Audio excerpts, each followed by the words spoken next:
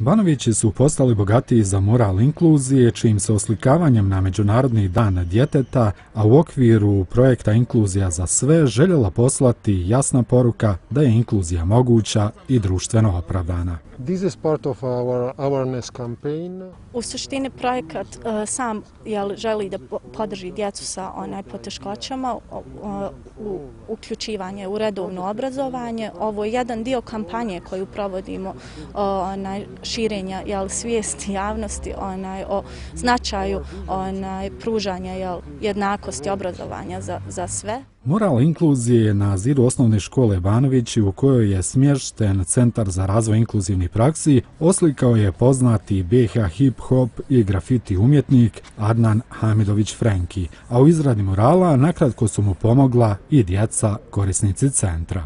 Kroz moju muziku, a i kroz grafiti i umjetnost se ono, često družim i susrećem s mlađim i naravno meni je jako bitna poruka uh, ovog centra ovdje da on postoji i da, da se to širi, da, dakle, da u, u, u cijeloj državi uh, gdje god ima potrebe za ovakvim objektima da ih imamo, da se, znači, inkluzija kao što sam napisao je za sve, to po meni nije izbor, tako mora, tako treba da bude.